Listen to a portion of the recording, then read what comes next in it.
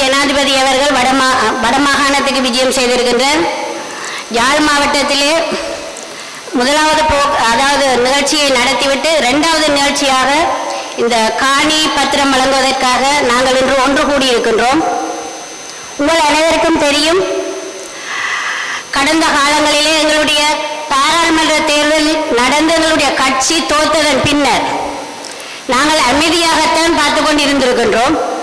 ஆனால் எங்களுடைய முழு நடவடிக்கைகளையும் நாங்கள் அமைதியான முறையிலே செய்து கொண்டிருந்திருக்கின்றோம். உங்களுக்கு தெரியும் ஐக்கிய தேசிய கட்சி கடந்த பாராளுமன்ற தேர்தலிலே ரெண்டாயிரத்தி இருபதாம் ஆண்டு படு தோல்வியை அடைந்திருக்கின்றது. எந்த ஒரு மாவட்டத்திலேயும் எந்த ஒரு பாராளுமன்ற உறுப்பினரும் வெல்லாத ஒரு வரலாறு தான் இந்த போன பாராளுமன்ற தேர்தலிலே நடந்திருக்கின்றது. உங்களுக்கு நன்றாக தெரியும்.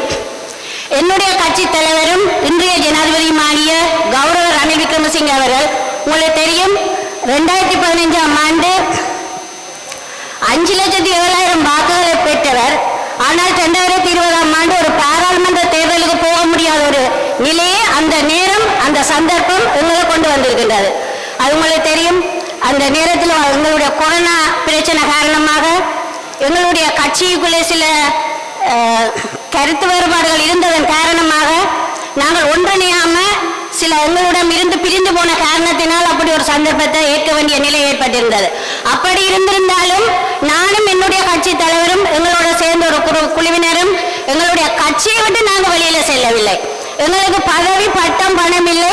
எங்களுடைய கௌரவம் எங்களுடைய நாட்டு மக்கள் எங்களுடைய குடும்பம் சீராக வாழ வேண்டும் என்பதற்காக இந்த கட்சியிலே நாங்கள் பயணித்துக் கொண்டிருக்கின்றோம் ஆனால் இன்று என்னுடைய கட்சி தலைவர் இன்று இந்த நாட்டிலே ஜனாதிபதியாக இருக்கின்ற உண்மையிலேயே நான் வரவேற்கின்றேன் பெருமைப்படுகின்றேன். இன்று ஒரு படித்த ஒரு தலைவர் இந்த நாட்டில இருநூற்றி இருபத்தஞ்சு பாராளுமன்ற உறுப்பினர்கள் இருக்கிறோம் ஒரு தலைவரை தெரிவு செய்ய முடியாத நிலை இந்த இருநூற்றி இருபத்தஞ்சு பேருக்குள்ளே இருந்திருக்கின்றது. இப்படி பார்க்கும்போது ஆசியாவிலே ஒரு தலைவராக சிறந்து விளங்கிக் கொண்டிருக்கின்றார்.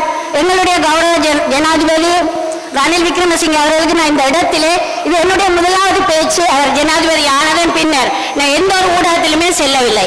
அதற்கு நான் இந்த இடத்துல உண்மையிலேயே வாழ்த்துக்களை சொல்லுகிறேன். ஏன்னு சொன்னால் அஞ்சு வீத வாக்குல தான் தேசிய பட்டியல பட்டியலே பாராளுமன்றம் சென்றிருக்கின்றார் இந்த இருபத்தஞ்சு மாவட்டத்திலேயும் அளித்த வாக்குகளால் தான் அவர் சென்றிருக்கின்றார் ஆனால் உங்களுக்கு தெரியும் கடந்த காலங்களிலே நீங்க அளித்த வாக்குகள் பிள்ளையான இடங்களில் சென்றபடியால் தான் பிள்ளையான தலைவர்கள் தெரிவு செய்யப்பட்டிருக்கின்றார்கள். கடந்த காலங்களில் நீங்கள் சிந்தித்து பாருங்கள். ஜெயா ஜெயத்தின காலத்திலேயே அந்த ஸ்ரீமாவ பண்ணர் இருந்த காலத்திலே அவையால் ஆட்சியை கொண்டு போக முடியாத நேரத்தில் ஜெயலலிதா ஜெயத்தின் அவர்கள் அந்த ஆட்சியை கைப்பற்றி அவர் அந்த நேரத்தில் நாட்டை கொண்டு சென்றார். அதே போல உங்களுக்கு தெரியும் ஆஹ், சந்திரிகாமியார் அவ இருந்த காலத்தில் கூடி அந்த அதாவது இந்த நாட்டை கொண்டு செல்ல முடியாத காரணத்தினால எங்களுடைய கௌரவ ஜனாதிபதி அவர்கள் ரெண்டாயிரத்தி ஒராம் ஆண்டிலே வந்து ஒரு ஆட்சியை கைப்பற்றி நாங்கள் இந்த நாட்டை கொண்டு சென்றிருக்கின்றோம். அதற்கு பின்னர் உங்களுக்கு தெரியும் மைத்ரிபால சிறிசேன அவர்களை நாங்கள் ஜனாதிபதி ஆக்கினோம் ரெண்டாயிரத்தி பதினெட்டாம் ஆண்டு என்ன செய்தார்? அவர் ஒரு அதாவது பத்தொன்பதாம் திருத்த சட்டத்தில் ச- அதாவது கையெழுத்தை விட்டுவிட்டு மாற்று எதிர்கட்சியில் இருந்தவர்களுக்கு நாட்டை பாரம் கொடுத்தார். கடைசியில் என்ன நடந்தது? எங்களுடைய ஜனாதிபதி பிரதமராக இருந்த காலத்திலேயே நாங்கள் 55 நாள் நாங்கள் போராடி கொண்டிருந்தோம். உங்களுக்கு தெரியும் படிவா. நாங்கள் அதை கைப்பற்றினோம். ஏன் படிச்சோரு மூளை இருந்தபடியாக தான் செய்யக்கூடிய மாதிரி இருந்திருக்கின்றது அதே போல உங்களுக்கு தெரியும் கோட்டபாய ராச ராஜபக்ச அவர்களை கொண்டு வந்தீர்கள். பெரும்பான்மை வாக்குகளால் கொண்டு வந்தீர்கள். கடைசியா நாடு என்பது போயிருக்கின்றது. அது சோமாலியாவாக தான் போயிருக்கின்றது. அந்த நேரத்தில் உங்களுக்கு தெரியும் டெம்பிள் டீஸ்ல கூட்டம் நடந்த வேளையில் என்னுடைய கட்சி தலைவரும் இன்றைய ஜனாதிபதியும் அந்த நேரத்திலே அந்த க- ஜனாதிபதிக்கு அட்வைஸ் கொடுத்திருந்தார். நீங்கள் அதாவது கொரோனாக்கான வேக்சினை வேக்சினை நீங்கள் செய்யுங்கள். இந்த பாராளுமன்ற தேர்தலை பின்னுக்கு போடுவோம் என்று. அதை சொல்லு கேட்கல. அந்த நேரம் அதை கேட்டு செய்திருந்தால் இந்த கொரோனாவாக இருந்தாலும் பாரிய வீழ்ச்சி எங்களுக்கு வந்திருக்காது பொருளாதாரத்தில். அந்த கட்டத்திலையும் என்ன நடந்தது. அவர்கள் ஜனாதிபதி தேர்தலுக்கு பின்னர் பாராளுமன்ற தேர்தலை நடத்தி பெரும்பான்மை எடுத்து தாங்கள் ஆட்சி அமைக்கணும் என்று. அதுவும் நடந்துச்சு. ஆனால் அவையால இந்த அரசாங்கத்தை கொண்டு போகவே முடியாது. உங்களுக்கு தெரியும் ஜனாதி அதாவது மஹிந்த ராஜபக்ச இருந்த காலத்திலேயே தோல்வி விட்டது கோத்தபாய ராஜபக்ச இருந்த காலத்திலேயே தோல்வி விட்டு சந்திரிகாந்த காலத்திலேயும் தோல்வி விட்டு ஸ்ரீமாண்ட காலத்திலேயும் தோல்வி விட்டு இன்னும் எங்களுடைய கட்சி தலைவர் உண்மையிலே தெரியும் அவர் கிட்டத்தட்ட நாற்பத்தேழு வருஷம் அரசியலில் இருக்கின்றார். ஆகையால அனுபவ ரீதியாகவும் கல்வி ரீதியாகவும் ஆசியாவிலே ஒரு சிறந்த சிறந்து விளங்குகின்ற ஒரு தலைவர். இன்று அவர் என்று உங்களுக்கு அமைதியான முறையில் வந்து எந்த ஒரு ஆர்ப்பாட்டமும் இல்லாமல் எதுவும் இல்லாமல் அமைதியான முறையில் இந்த நாட்டு மக்களுக்கு எது தேவை எது செய்யணும் என்று சரியான முறையிலே வழி நடத்துகின்றார். டட்லி சென்னநாயக்க காலத்திலே வழங்கப்பட்ட இந்த உறுதி பத்திரம் அதாவது இந்த மக்களுக்கு அரசாங்க காணிகள் இன்று எங்களுடைய ஜனாதிபதியாலே நிரந்தரமான உறுதி பத்திரமாக இது வழங்கப்பட்டிருக்கின்றது. நாங்கள் இவ்வளவு காலமும் பொறுமையாக இருந்த காரணத்தினால் தான் இது இன்றைக்கு உங்களுக்கு உறுதி பத்திரமாகவே எங்களுக்கு வழங்கப்படுகின்றது ஆகையால் இதே போல எதிர்வரும் காலங்களில் ஜனாதிபதி தேர்தலை சந்திக்க இருக்கின்றோம் பாராளுமன்ற தேர்தலை சந்திக்க இருக்கின்றோம் மாகாண சபை தேர்தலை சந்திக்க இருக்கின்றோம் அதே போல பிரதேச சபை தேர்தலை சந்திக்க இருக்கின்றோம். நீங்கள் சிறந்த ஒரு தலைவரை இந்த நாட்டில் தெரிவு செய்வதன் மூலம் நாங்கள் இதை ஒரு சிறந்த நாடாகவும் எதிர்காலத்தில் அபிவிருத்தி அடைந்த நாடாகவும் கொண்டு வரலாம். இதுக்கு உங்களுடைய வடக்கு கிழக்கு மலையம் மூன்று இடங்களிலும் இருந்து எங்களுடைய அந்த சிறுபான்மையின மக்கள் எந்த தலைவரை எங்களுடைய தலைவர் கொண்டு வராரோ அல்லது இந்த நாட்டு உகந்த தலைவர் இனி எது யார் வரப்போகின்றமோ அதை நீங்கள் முடிவெடுக்க வேண்டும். ஆனால் நீங்கள் முட்டாள்தனமாக பல பல கதைகள் போகின்றன. உங்களுக்கு தெரியும் அன்றகுமார் தேசநாயக ஜனாதிபதி. இந்த மஹிந்த ராஜபக்ச ரணில் விக்ரமசிங்க அவர்கள் ஜனாதிபதி. அதுக்காக சஜித் பிரேமதாஸ் அவர்கள் ஜனாதிபதி. இப்படி இப்படி எத்தனையோ ஜனாதிபதிகள் வருகிறோம் இதுக்கு முன்னால் எத்தனை புது ஜனாதிபதிகள் வரப்போயினுமோ தெரியாது. ஆகையால் இது இந்த உங்களுடைய நாங்கள் இந்த இடத்திலே பேச வேண்டிய உண்மையா பெருமதியான ஒரு நாங்கள் பேச்சாக இருக்க வேண்டும். ஏன்னு சொன்னால் ரெண்டாயிரத்தி அஞ்சு அஞ்சாம் ஆண்டு நாங்கள் வடக்கில் வாக்களிக்காத காரணத்தினால ஒரு லட்சத்தி ஐம்பதாயிரம் வாக்காளர்கள் எங்களுடைய தலைவர் அந்த நேரத்தில் தோல்வியிட்டார். அதுவும் பெரும்பான்மை வாக்கிலே அவர் தோல்வியிட்டார். அடுத்த வாக்கில் இருந்து ஒரு லட்சத்தி ஐம்பதாயிரம் வாக்காளர். இன்றைக்கு அந்த வாக்கு விழுந்திருந்தால் இன்றைக்கு எல்லாருமே நாங்கள் இருந்திருப்போம். சொத்து முடக்கவும் இல்லை ஆக்கள் முடக்கவும் இல்லை எந்த இதுவும் இல்லாமல் நாடு வளர்ந்திருக்கும். அதுல விட்ட தவறுகளை நாங்கள் இனி விட முடியாது. நீங்கள் எல்லாரும் ஒன்று திரண்டு உங்களுக்கு தெரியும் இந்த எத்தனை அரசியல் கட்சிகளை வடக்குல பார்க்கும்போது பத்து கட்சி பதினஞ்சு கட்சி பன்னெண்டு இருபது கட்சியாக மாறி இருக்கின்றது. ஒவ்வொரு ஒவ்வொரு பாராளுமன்ற உறுப்பினரும் ஒவ்வொரு கட்சியாக அதை கட்டாயம் போட்டியிடுவார்கள் அடுத்த பாராளுமன்ற தேர்தலிலே. மக்களாகிய நீங்கள் என்ன செய்ய வேண்டும்?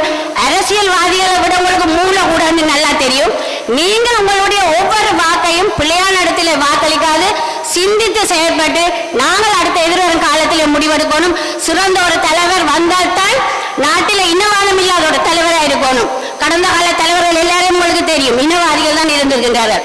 ஆகையால சிறந்த ஒரு தலைவரை நாங்கள் தெரிவு செய்வதன் ஊடாக இந்த வடக்கு மாகாணம் இல்ல கிழக்கு மாகாணம் இல்ல நாட்டையே கட்டி எழுப்ப முடியும். ஆகையால நீங்கள் எங்களுடைய தீர்வு ஒப்பி ஒரு நாளைக்கு தரத்தான் வேண்டும். தலைவருக்கு தெரியும் தலைவர்கிட்ட மைண்டில் இருக்க எல்லாமே இப்போ விலங்கையில் இங்க என்னென்ன செய்யணுமெண்டு அதே போல் வடக்கு கிழக்கு மாகாணத்தையும் அபிவிருத்தி செய்து தர வேண்டும். எங்களுக்கு எத்தனையோ இதால் கடல் வழி இருக்கின்றது விமானம் இருக்கின்றது தரவழி இருக்கின்றது. எத்தனையோ அதாவது அதாவது இன்வெஸ்டர்னர்கள் இந்த நாட்டுக்குள்ள மாவட்டத்துக்குள்ள மாகாணத்துக்குள்ள கொண்டு வரலாம். இந்த மாகாணத்தையும் எங்களுடைய தலைவர் இருக்கிற காலத்திலே அபிவிருத்தி செய்ய வேண்டும். ஆகையால நான் இதை அவருக்கு இந்த இடத்துல கூறிக்கொள்ள விரும்பினேன். எனக்கு பாரிய பொறுப்பு இருக்கின்றது. ஆயிரத்தி தொள்ளாயிரத்தி தொண்ணூற்றி ஒன்பதாம் ஆண்டிலிருந்து நாங்கள் இன்று வரைக்கும் இந்த கட்சியில தான் பயணிக்கின்றோம். எந்த விதத்துக்காக எந்த அற்ப ஆசைக்கும் இந்த கட்சியை விட்டு வெளியில எல்லாம் உங்களுக்கு வழியா தெரியும். எங்களுடைய முதலாவது பிரவேசமே ரணில் விக்ரமசிங்க சந்திரிகா குமார் அவர்களுடைய ஜனாதிபதி தேர்தலில் தான் நாங்கள் அங்கேயே நாங்கள் பிரவேசி- பிரசித்துக்கின்றோம் இந்த கட்சிக்குள்ளே. இந்த கடைசி தேர்தலில் இவருடைய இந்த ஜனாதிபதியின் ஊடாக இதை வெற்றி பெற்று நாட்டு மக்களுக்கு சேவை செய்து இதிலிருந்து நான் ஒதுங்குவதற்கும் நான் எண்ணிலே யோசித்திருக்கின்றேன். ஆகையால இந்த இருக்கின்ற நேரத்தில் இருக்கின்ற காலத்தில் இந்த மாகாணத்தை அபிவிருத்தி செய்து கொடுக்க வேண்டும். எங்களுடைய மாவட்டத்தில் இருக்கின்ற இளைஞர் ஜோதிகளுக்கு வேலைவாய்ப்பு அளிக்க வேண்டும். அதாவது முதியோர்கள் இருக்கின்ற அவர்களுடைய வருமானத்தை கூட்டி கொடுக்க வேண்டும். யுத்தத்தால் பாதிக்கப்பட்ட பெண்கள் இருக்கின்றார்கள் சிறார்கள் இருக்கின்றார்கள் காணாமல் போ போனவர்கள் இருக்கின்றார்கள். எல்லாருக்கும் இந்த ஜனாதிபதி அடுத்த ஜனாதிபதியாக வர இருக்கின்ற தலைவர் ஊடாக செய்ய வேண்டும். ஆகையால இந்த மக்களுக்கு இது ஒரு பெரிய ஒரு வரப்பிரசாதம். இந்த இடத்துல நான் நீண்ட நேரத்தை எடுக்காமல் இன்னும் எங்களுடைய மக்களுடைய காணிகள் விடப்படாமல் இருக்கின்றது. அந்த காணிகளையும் ஜனாதிபதி அவர்கள் விரைவில் விடுவதற்கான முயற்சிகளில் ஏற்பாடுகளில் இருந்து கொண்டிருக்கின்றார் என்பதையும் அந்த வகையில் எங்களுடைய மக்கள் சார்பாக மீண்டும் அவருக்கு நன்றியை கூறி உங்களுக்கு தெரியும் ஜனாதிபதி அவர்கள் இந்த நாட்டை பொறுப்பெடுக்கின்ற பொழுது இந்த நாடு இருந்த நிலைமை உங்களுக்கு தெரியும். எடுத்ததற்கெல்லாம் கியூ முறை அல்லது பொருள் தட்டுப்பாடு பொருள் தட்டுப்பாடு விலையேற்றம். இப்படி பல பல வகையான பிரச்சனைகள் இருந்தது. அதுபோல தென்னிலங்கையில் வன்முறைகள் எல்லாம் தலைவிரித்தாடினது. ஆனால் அப்படியே தொடர்ந்து விட்டிருந்தால் வடக்கு கிழக்கிலையும் அந்த வன்முறைகள் தலைவிரித்து ஆடி இருக்கும் ஆனபடியினால் ஜனாதிபதி தத்துணிவோட தன்னுடைய பொறுப்புகளை என வேற பல தென்னிலங்கை அரசியல் தலைவர்களுக்கு அது முன்வைக்கப்பட்ட போதும் யாரும் அதை அந்த பொறுப்பு பொறுப்பை எடுக்க முன்வரவில்லை.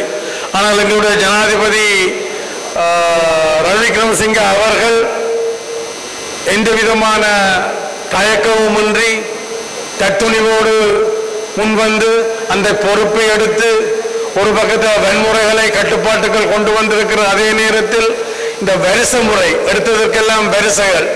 சகல உணவுகளுக்கும் சகல எரிபொருள் தட்டுப்பாடு மின்சார தட்டுப்பாடு என்று பல இடர்களை மக்கள் எதிர்கொண்ட போது அதை படிப்படியாக அவர் தீர்த்திருக்கின்றார். அதாவது நான் உதாரணத்துக்கு சொல்வதாக இருந்தால் அவர் ஒரு பிரேக் டவுன் வண்டி அதாவது ஒரு செயலிழந்த ஒரு வாகனத்தை பொருட்படுத்தியிருந்தார். ரெண்டு வருஷங்களுக்கு முன்பாக. அந்த வாகனத்தை பொருட்படுத்து அந்த என்ஜினை இயந்திரத்தை திருத்தி டயர் சில்லுகளை போட்டு எரிபொருளை விட்டு அந்த வாகனத்தை ஓட விட்டிருக்கின்றார்.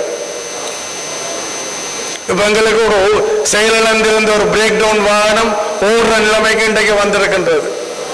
இன்னும் அடுத்த ஒரு ரெண்டு வருஷத்துக்கு இன்னும் அவருக்கு நாங்கள் இடங்கள் குறுப்பமாக இருந்தால் அவரோடு சேர்ந்து நாங்கள் பயணிப்போமாக இருந்தால் அந்த வாகனத்துக்கு நம் செய்ய திருத்த வேண்டிய வேலைகள் இருக்கின்றன. டிங்கர் வேலை செய்ய வேண்டி இருக்கின்றது பெயிண்ட் அடிக்க வேண்டி இருக்கின்றது வயரிங் வேலை செய்ய வேண்டி இருக்கின்றது அதை விட இன்ஜினை ஃபைன் டியூன் பண்ண வேண்டி இருக்கின்றது அப்போ இன்னும் ஒரு ரெண்டு வருஷம் அவர் தொடர்ந்து அவருக்கு நாங்கள் அந்த சந்தர்ப்பத்தை கொடுத்தால் அடுத்த ரெண்டு வருஷத்திலேயும் இன்னும் இந்த அந்த வாகனத்தை திருத்தி எங்களுக்கு ஒரு தரமான ஒரு நல்ல ஒரு வாகனத்தை தருவார்.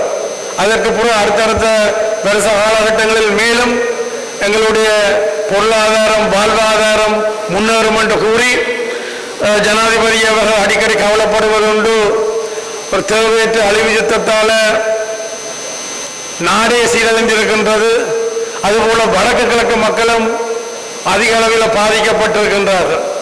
அந்த தார்மீக உணர்வு தார்மீக பொறுப்பு காரணமாக அவர் வடக்கு கிழக்கு பிரதேசங்களுக்கு அடிக்கடி விஜயம் செய்து பிரச்சனைகளை நேரடியாக பார்த்து அந்த பிரச்சனைகளை ஒன்று அதில் வைத்து தீர்த்துக் கொள்ளுவார் அல்லது தன்னுடைய பணிப்புரை கூடாக அந்த பிரச்சனைகள் தீர்க்கப்பட்டு வந்திருக்கின்றது அந்த வகையில் எங்களுடைய மக்கள் எதிர்கொள்ளுகின்ற அன்றாட பிரச்சனைகள் அபிவிருத்தி அடுத்தது அரசியல் உரிமை பிரச்சனை.